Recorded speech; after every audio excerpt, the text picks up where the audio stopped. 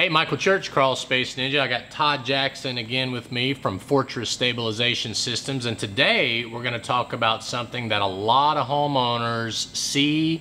It's an eyesore. You're like, what can I do about fixing that cracked concrete either in your basement, in your garage, or perhaps on your sidewalk or your pool? So stay tuned. We're going to talk to Todd about that.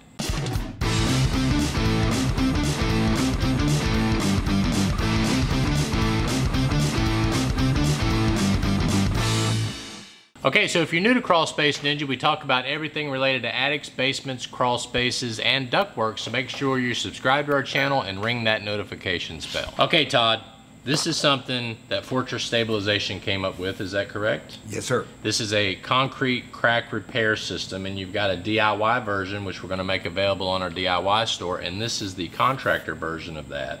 So tell us a little bit about why is it important to fix concrete cracks with your system versus some of those things that they can get at the box stores?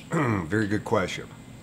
Um, without getting into the various repair materials, whether it be cementitious, epoxies, polyurethanes, you're always on a single plane.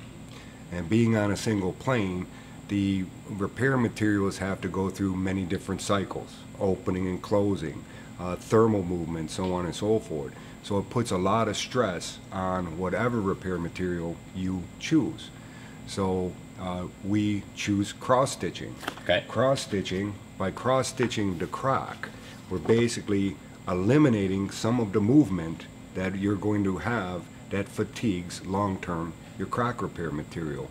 Uh, typically, uh, years ago, the, the Army Corps of Engineers uh, did uh, a bunch of studies on crack stitching, and back then we drill on 45s and insert rebar.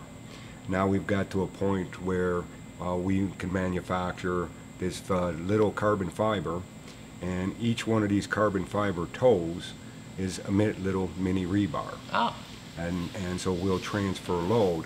And with an elongation of 1.3%, very, very quickly we transfer load away from the repair material and we're non-corrosive. So if we're in a pool environment where we've got chlorines, things of that nature, it is not going to affect the actual reinforcement where we'd have corrosion problems with steel. Right, okay. And, and because we're countersinking this, we can then be ready for any type of overlay, uh, pebblecrete, anything that we want to do. It's going to be a hidden repair. Oh, I got you. So, and I, I guess the best way to uh, describe this to the audience is when we cut our finger, we don't run our band-aid perpendicular with that.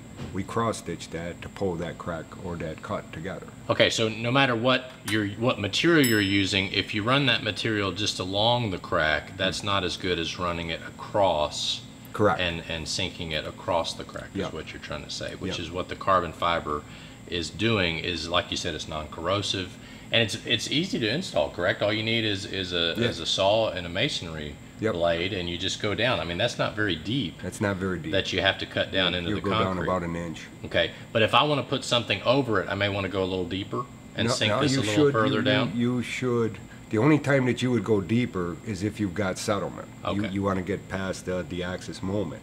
So in other words, uh, if we've got settlement of a slab in the center of that, we'd want to get past that, which typically you would do for commercial applications. But for a crack, simply opening and closing, a one-inch saw cut will, will do the, will, will do it for you. Okay, so if I've got my driveway is all jacked up and cracked up and all that, this is a great repair to that driveway. Absolutely, and then if you're gonna do an overlay, because you've got your epoxy surface, epoxy will get an amine blush that nothing wants to stick to.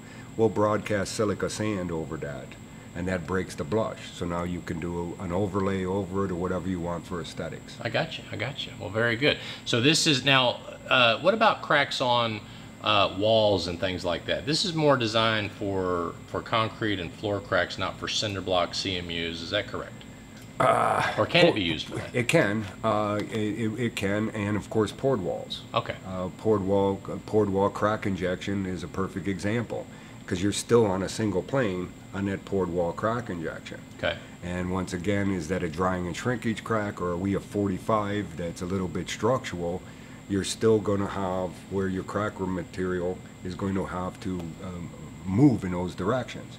We want to cross stitch that also. uh, with cinder block or CMU, uh, cinder block, we'll typically, or brick, we'll typically use those uh, for, uh, which would be a near surface mount, if you will. Uh, once again, cutting out your mortar joint and laying it in. Let's say we've had some settlement and the brick wasn't tied in, we can use that to tie that all back together, uh, either into your mortar joints, so on and so forth. So Okay. absolutely. Okay, so if I've got a bowed wall where I've got, you know, uh, pressure pushing my wall in, it's caused settlement cracks and things like that, I can use this with the carbon guard or the fortress system, and then we can fix the cracks as well as put the carbon Yeah, up on there. Typically, they would use the standard fortress with that uh, on a bowed wall. Uh, we typically use that on poured walls because you've just got a certain amount of thickness Okay. in a CMU.